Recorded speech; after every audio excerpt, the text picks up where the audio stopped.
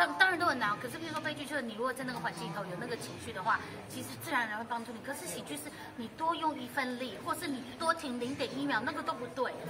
就像国秀老师在台上，我觉得很多东西是学不来的，或周星驰他们，我觉得那得那个一定要经过很多的历练，或者是看到很多悲喜之后才能达到的一个境界。所以我其实是很以写信为荣，所以我还是写信。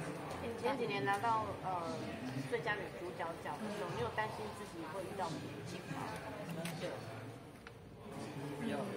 嗯，瓶颈倒是说因为担心实下一个作品没有办法超越啊，或者说别人对你的期待可能我其实比较靠别人，就是我很需要别人有就是很棒的剧本跟很棒的工作环境，所以其实别人比较瓶颈。那只有本身的瓶颈，因为我的身材就会让我很多瓶颈，就是很多角色没有办法遇到。可是我觉得现在的戏剧走出了一个每个人都是自己主，都是他的都是主角。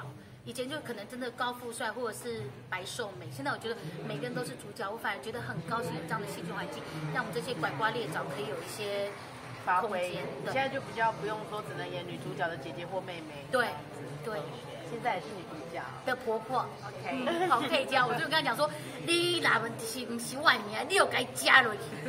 我事后完后，你益生菌有一点的事后啊，事后完了益生菌。事后所以昨天还在拍戏，昨天还在拍戏，拍到什么时候？对不起，嗯，拍到什么时候？昨天拍到六呃七点多回到台北，晚上。所以还是有休息的。嗯，有有有，只是昨天写感言写到一点多。所以最近是有吃的比较好吗？哦，我一直都吃还蛮好的，不瞒你说。哎，我有戒三天宵夜呢，哦，那还蛮没差为了今天有戒三天宵夜，完全看不出来哈。我没有量，因为他们那个我的那个造型师。尺寸不合，不我造型师他们都现场，他们改到刚刚才那个，那个都还在缝东西耶。为什么要改到刚刚？就是他们身材瞬息万变就。他们没有，他们穿上去之后，觉得很多东西要做调整或什么什么。对啊，这样还所以他们要调整而且他们很霸气啊！我就说，哎，我就问说，哎，少奇，那个我需不需要减肥？他说不用啊，你就这样胖胖上去就好了。他可能想说也来不及减了，所以就算了。